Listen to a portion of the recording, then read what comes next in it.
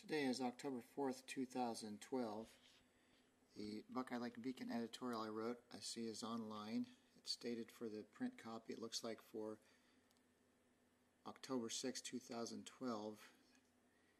And it's titled Bowling Green Township Resident Should Check for Overcharges. Editor. It appears that there are some problems with the exclusive trash contract imposed on the township residents last year. Trustees learned at their August board meeting that at least one resident has been way overcharged.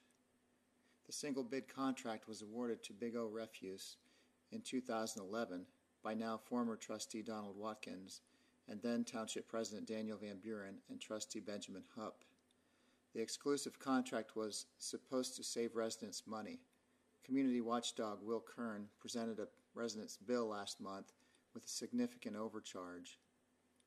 While assisting this resident by calling Big O, I learned that if a special form was not completed, customers could be billed at the rate in place prior to the contract being awarded.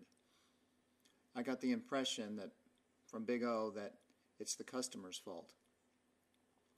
At this point, we don't know how widespread this problem is.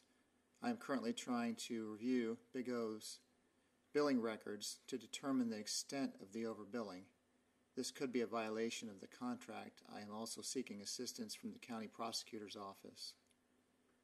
When we discussed this issue at our September board meeting, I suggested that we publicize the overbilling so residents could check their bills. My suggestion was rejected. So that's why I'm writing this letter. My thought was to notify our customers, township residents, about possible overbilling and help them to get refunds if appropriate. Bowling Green Township residential customers should be paying $11.95 per month for trash pickup. If you are paying more, you are likely due a refund. Fiscal Officer Jenny Duvall does not want to be contacted about any billing problems. If you need help, email me at jeff at chorpenning.com or call 740 787 1517. Trustees did approve a resolution to seek help from the prosecutor's office in regard to several violations of the now legal monopoly. As a resident last year, I raised quite a few contract issues with the board last year, but all were ignored. Now, as your elected trustee, I will make every effort to clean up this issue since it is now on my watch.